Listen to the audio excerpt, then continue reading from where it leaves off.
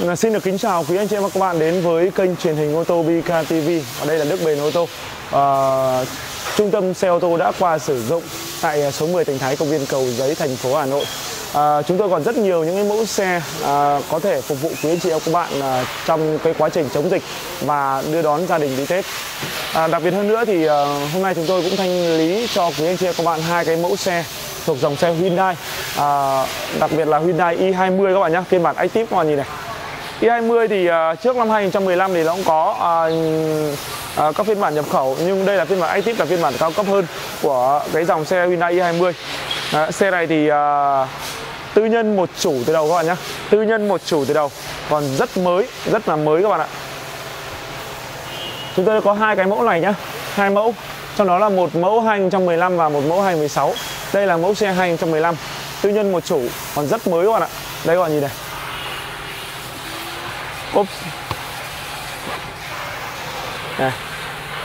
Lốp sơ cua chưa hạ các bạn nhé ừ, Rất mới lốp sơ cua chưa hạ các bạn? Ừ. Con này sản xuất năm 2015 2015 Màu trắng. Đây. Toàn bộ còn rất là nguyên bản các bạn ạ.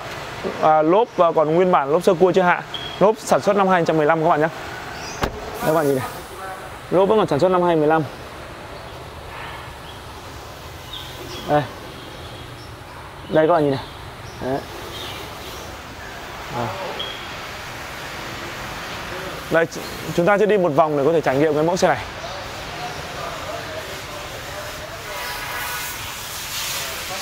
Một vòng. I20 này thì à, cũng là một cái mẫu xe thuộc phân khúc B. Nếu như anh chị em nào mà đang quan tâm sở hữu một cái mẫu xe mà ví dụ như uh, Iris hoặc Mazda 3 thì cái i20 này được uh, Ờ, trang bị là nhập khẩu các bạn nhé nhập khẩu. À, khi mà vào nội thất thì chúng ta cũng có thấy à, có nhiều những cái tính năng nó ưu việt hơn dòng xe Iris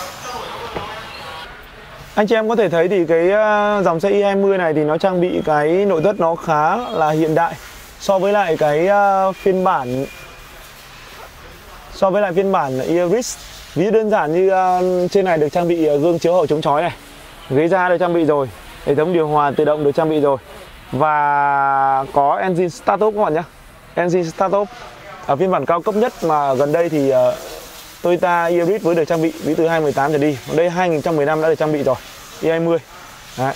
rẻ hơn khoảng tầm 50 triệu so với các bạn ờ, trang bị uh, con Yaris các bạn nhé uh, có cổng USB này cổng AUX này.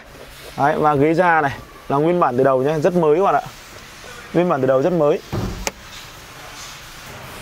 Bên này chúng ta có động cơ 1.4 các bạn nhé Nó rất là tiết kiệm nhiên liệu. À, Động cơ rất là nguyên bản. Con này sản xuất năm 2015